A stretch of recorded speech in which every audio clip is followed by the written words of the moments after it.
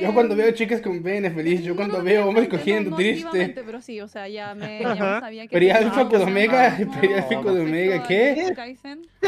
había gente que me había dicho que te hablase de Gintama, pero no quiero hablar contigo de Gintama si no lo has visto.